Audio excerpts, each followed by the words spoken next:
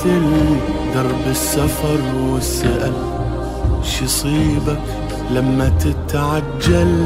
لا تستعجل أبد دربك وسالم للهدف دوس.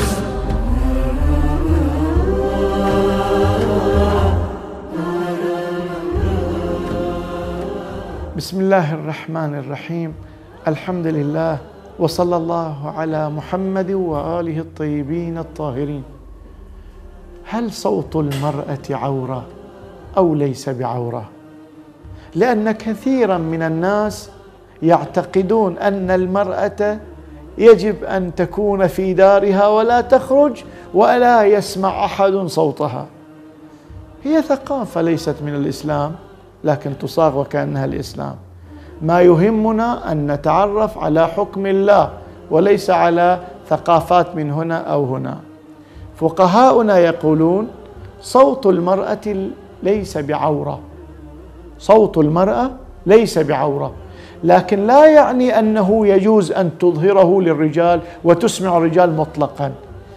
يجوز إلا في حالتين. الحالة الأولى أن يكون صوتها إذا سمعه الآخر تتحرك شهوته هو أو هي.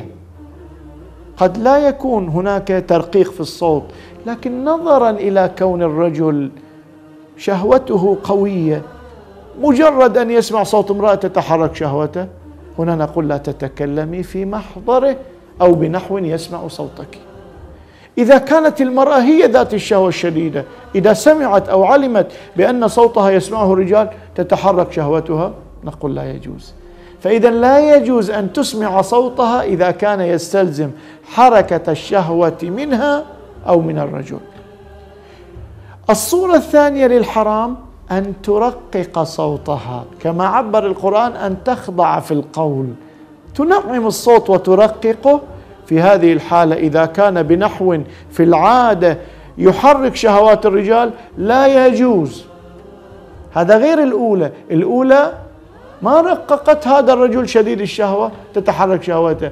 أما الثانية فهي ترققه بالنحو المثير. نقول لا يجوز. حتى لو مو متأكدة راح يثار هذا الرجل أو لتدين لن يثار. بهذا النحو لا تبرزي صوتك. فهذا ممنوع.